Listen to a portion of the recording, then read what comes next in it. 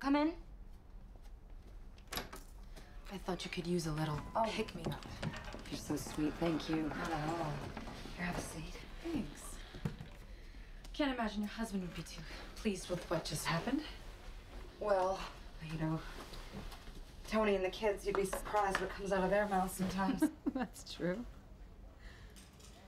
You haven't spoken to him much about your personal life, have you? Hitch? Mm-hmm. No, not really. Keep it that way if I were you.